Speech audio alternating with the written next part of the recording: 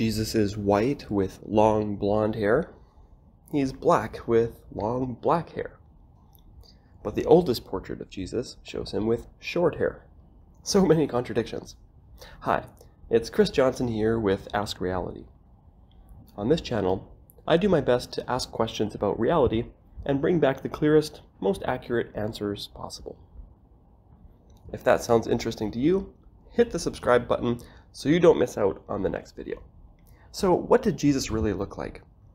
The Bible doesn't say much about his appearance, but it suggests Jesus didn't stand out much from his peers, since during his arrest, Judas had to point him out from among 11 other men.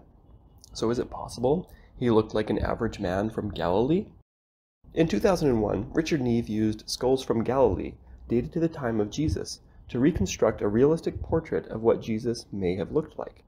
Richard used modern forensic techniques capable of restoring facial muscles and other details based on the shape of the skull.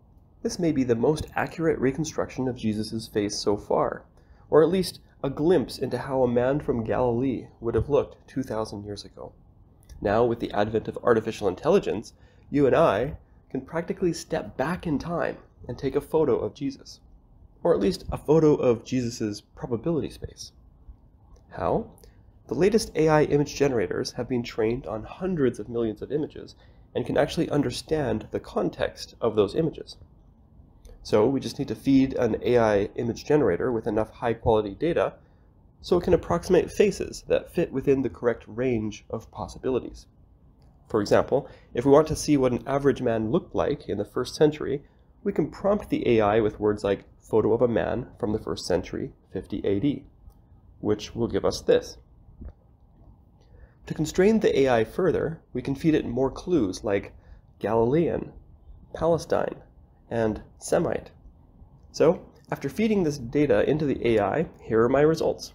28 photos of how Jesus may have looked 2,000 years ago. Let me know which photo you think could be the real Jesus in the comments below.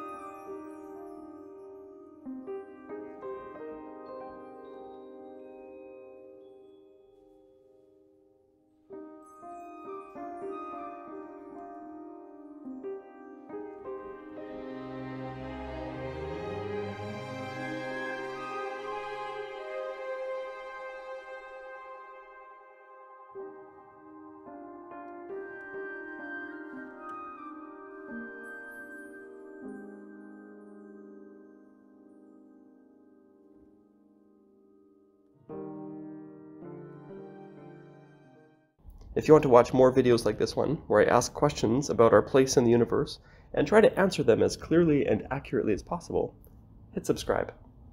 Thanks. Don't stop asking questions. Don't stop taking actions towards your highest goals. And I'll see you in the next video.